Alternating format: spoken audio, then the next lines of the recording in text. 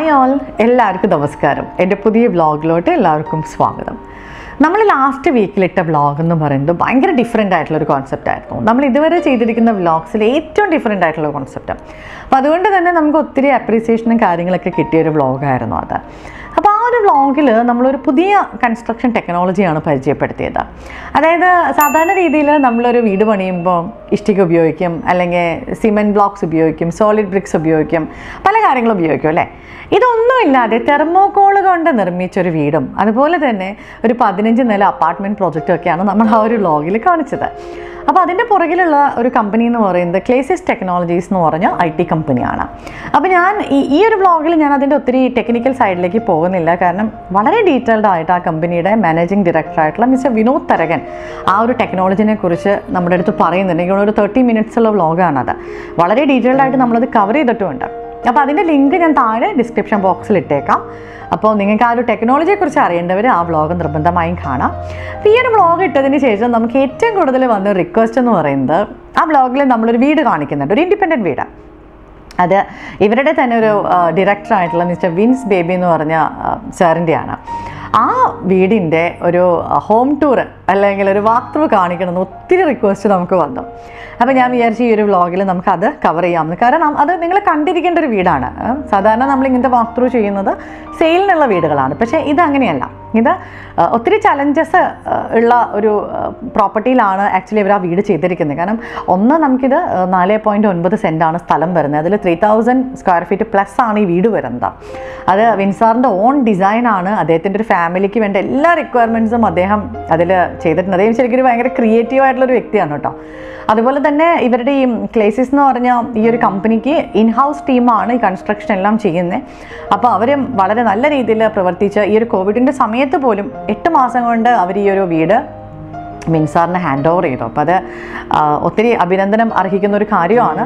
അപ്പോൾ ഈ ഒരു വീടിന്റെ ഡിസൈൻ എനിക്ക് പേഴ്സണലി ഭയങ്കരമായിട്ട് ഇഷ്ടപ്പെട്ടു. കാരണം എനിക്ക് ഇങ്ങനത്തെ കുറേ മോർ എർത്തി അതുപോലെ തന്നെ കുറേ സ്കൈ ഗാർഡൻ ഇങ്ങനെയൊക്കെ വരുന്ന വീടുകൾ എനിക്ക് പേഴ്സണലി ഭയങ്കര ഇഷ്ടമാണ്. അപ്പോൾ എനിക്ക് തോന്നി ഇതിന്റെ ഒരു വാക്ത്രൂ കുറേ പേർക്കെങ്കിലും ഇതിന്റെ ഒരു പ്ലാനും കാര്യങ്ങളൊക്കെ മനസ്സിലാക്കാനായിട്ട് ഉപകരിക്കും. അപ്പോൾ ടെക്നിക്കൽ സൈഡിലേക്ക് ഞാൻ പോകുന്നില്ല. ഇതിന്റെ ഈ ഒരു വീട് എങ്ങനെയാണ് ഇതിന്റെ ഡിസൈൻ എങ്ങനെയാണെന്ന് മാത്രമാണ് ഈ ഒരു വ്ളോഗിൽ നമ്മൾ കാണിക്കുന്നത്. അപ്പോൾ നിങ്ങൾക്ക് എന്തായാലും ഈ വ്ളോഗ് ഇഷ്ടപ്പെടുന്നു വിശ്വസിക്കുന്നു ഈ ഒരു വീട് ഇഷ്ടപ്പെടുന്നു വിശ്വസിക്കുന്നു. അപ്പോൾ നമുക്ക് നേരെ വ്ളോഗിലേക്ക് പോവാം. ഇതാണ് ബ്രിക്സ് ഒന്നുമില്ലാതെ തെർമോക്കോൾ ഉപയോഗിച്ച് നിർമ്മിച്ച നമ്മുടെ വൈറൽ വീട്. ഓക്കെ അപ്പോൾ അതിന്റെ ടെക്നിക്കൽ സൈഡിലേക്ക് ഞാൻ അധികം കടക്കുന്നില്ല. ഞാൻ ഇൻട്രോയിൽ പറഞ്ഞിരുന്നു ലിങ്ക് ഇട്ടേക്കാം നിങ്ങളത് കാണാം. നമുക്ക് ഇന്ന് ഈ ഒരു വീടിന്റെ വിശേഷങ്ങൾ എങ്ങനെയാണെന്ന് നോക്കാം. നമ്മൾ വീട്ടിലേക്ക് കയറുമ്പോൾ തന്നെ നമുക്ക് നല്ല സ്പേഷ്യസ് ആയിട്ടുള്ള രണ്ട് കാറ് പാർക്ക് ചെയ്യാവുന്ന രീതിയിലുള്ളൊരു കാർ പാർക്കിംഗ് ഏരിയ കൊടുത്തിട്ടുണ്ട്. പിന്നെ നമുക്കിവിടെ കയറി വരുമ്പോൾ തന്നെ റൈറ്റ് സൈഡിൽ നമ്മൾ കിണർ പ്രൊവൈഡ് ചെയ്തിട്ടുണ്ട്. മാക്സിമം ലാൻഡ്സ്കേപ്പിംഗ് ഏരിയ കൊടുത്തിട്ടുണ്ട്. ഇതിൽ പ്രത്യേകം ശ്രദ്ധിക്കേണ്ട ഒരു കാര്യം എന്താ വെച്ചാൽ ഈ വീടിരിക്കുന്ന ഏരിയ ആകെ നാല് പോയിന്റ് ഒൻപത് സെന്റേ ഉള്ളൂ. ഓക്കെ അതിലാണ് മൂവായിരം സ്ക്വയർ ഫീറ്റ് വരുന്ന ഈ ഒരു വീട് ഇവർ ചെയ്തിരിക്കുന്നത്. അതാണ് ഇതിന്റെ ഏറ്റവും വലിയൊരു ചലഞ്ച് മൂവായിരം പ്ലസ് ഉണ്ട് കേട്ടോ ഈ വീട്.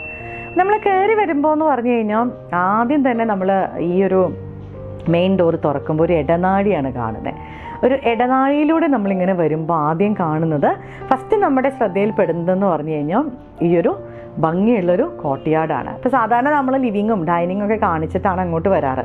അപ്പോൾ നമുക്ക് ആദ്യം ഈ ഒരു കോട്ടയാടിന്റെ ഒരു ഭംഗിയൊക്കെ കണ്ടതിന് ശേഷം നമുക്ക് ലിവിങ് ഏരിയയും ഡൈനിങ് ഏരിയ എല്ലാം കാണാം.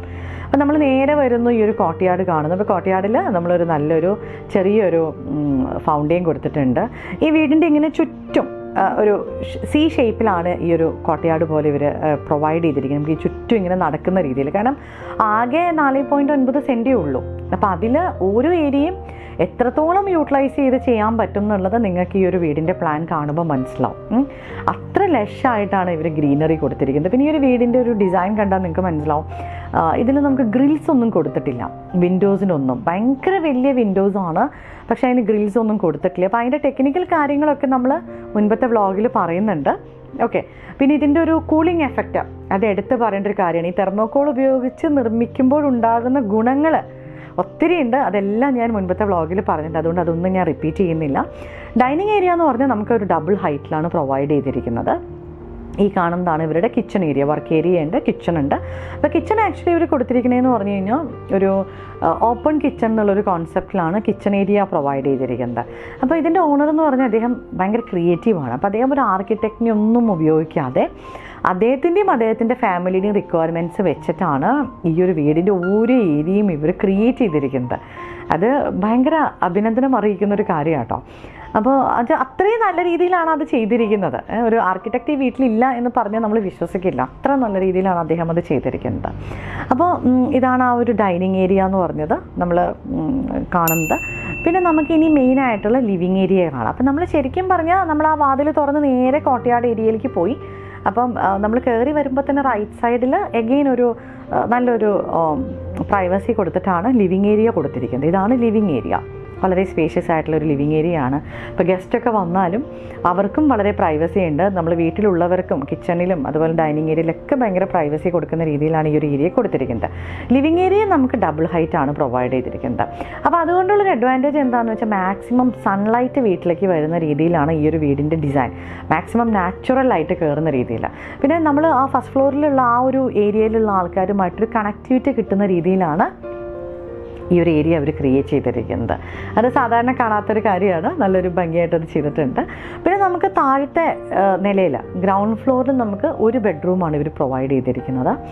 നല്ല സ്പേഷ്യസ് ആയിട്ടുള്ളൊരു ബെഡ്റൂമാണ് വിത്ത് അറ്റാച്ച്ഡ് ടോയ്ലറ്റ് അപ്പോൾ ഈ ഒരു റൂമിൽ നിന്ന് നോക്കിക്കഴിഞ്ഞ് കഴിഞ്ഞാൽ ഈ ഒരു കോട്ടയാട് കാണുന്ന രീതിയിലാണ് ഇതിന്റെ വിൻഡോസ് എല്ലാം പ്രൊവൈഡ് ചെയ്തിരിക്കുന്നത്. വളരെ വലിയ വിൻഡോസ് ആണ്. അപ്പോൾ നിങ്ങൾക്ക് പലർക്കും ഇത് കാണുമ്പോൾ സംശയം ഉണ്ടാവും. ഈ വിൻഡോ ഒക്കെ പൊട്ടിച്ച് കള്ളന്മാരെ അകത്ത് കയറില്ല എന്നൊക്കെയുള്ള ഡൗട്ട്സ് ഉണ്ടാവും. ആ ഡൗട്ടൊക്കെ നമ്മൾ മുൻപത്തെ വ്ളോഗിൽ നമ്മൾ ക്ലിയർ ആയിട്ട് പറഞ്ഞിട്ടുണ്ട് എന്ത് വിൻഡോ ആണെന്നൊക്കെ നമ്മളതിൽ വ്യക്തമായിട്ട് ഉപയോഗിച്ചിരിക്കുന്ന ഗ്ലാസും എല്ലാം നമ്മൾ പറയുന്നുണ്ട്. അപ്പോൾ അതിലേക്കൊന്നും ഞാൻ കിടക്കുന്നില്ല.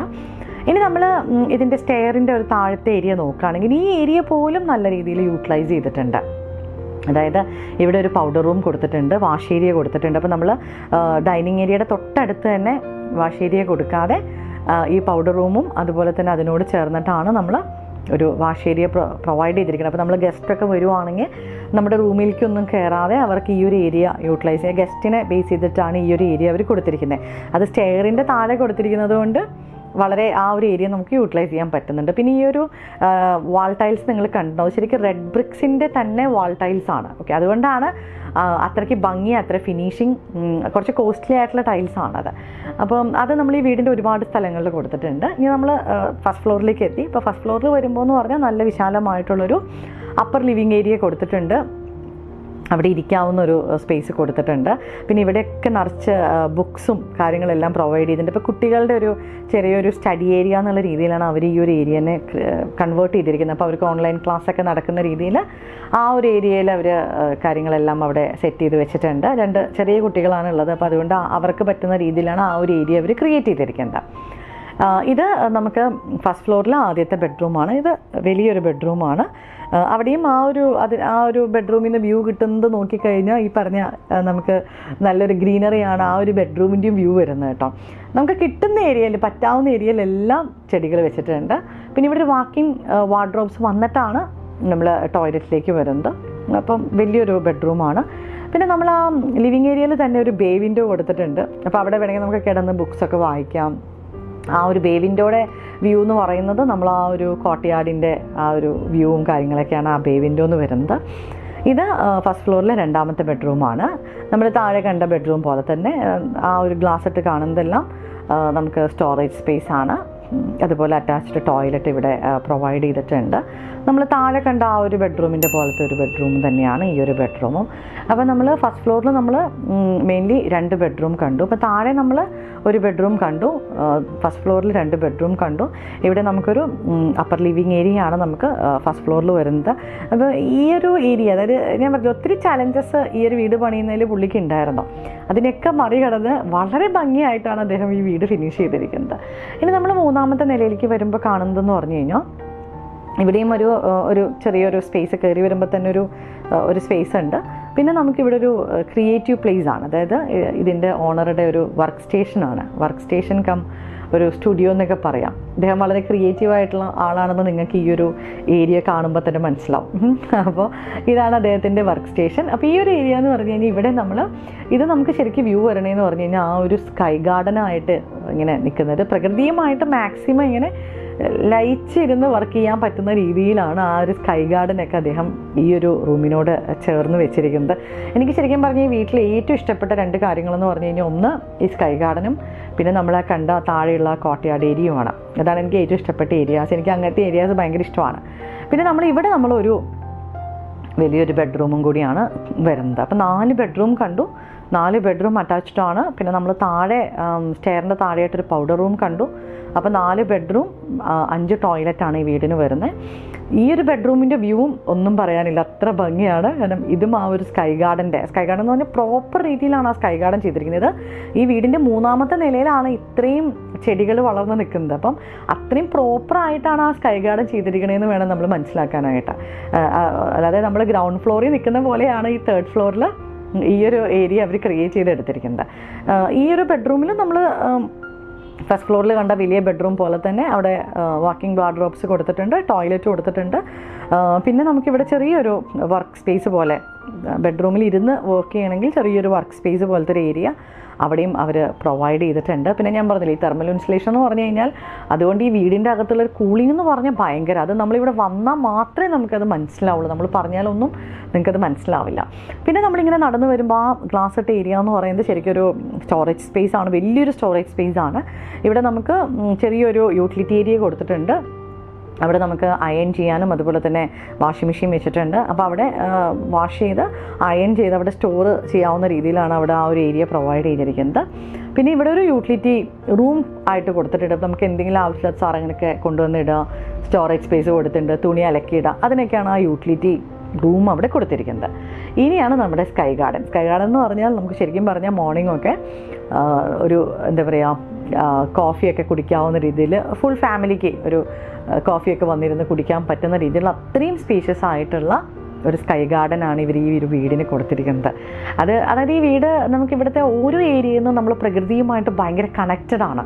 ആ ഒരു രീതിയിലാണ് ഈ വീട്ടിലെ ഓരോ ഏരിയയും ക്രിയേറ്റ് ചെയ്തിരിക്കുന്നത്. ഞാൻ പറഞ്ഞില്ല ഇപ്പോൾ പത്ത് സെന്റിലോ പതിനഞ്ച് സെന്റിലോ വീട് ചെയ്യാമെന്ന് പറയുന്നത് നമുക്ക് ഒത്തിരി ഏരിയ ഗാർഡൻ സ്പേസിന് കിട്ടും. ഇതിന് നമുക്ക് അങ്ങനെ ഒരു സ്പേസ് ഒന്നും കിട്ടുന്നില്ല. അപ്പോൾ ഉള്ള ഏരിയ എങ്ങനെ ഭംഗിയാക്കാം? എങ്ങനെ നമുക്ക് പ്രകൃതിയുമായി ചേർന്ന് ജീവിക്കാം എന്നുള്ളതാണ് ഈ ഒരു വീടിലൂടെ അദ്ദേഹം നമ്മളെ കാണിച്ചു തരുന്നത്.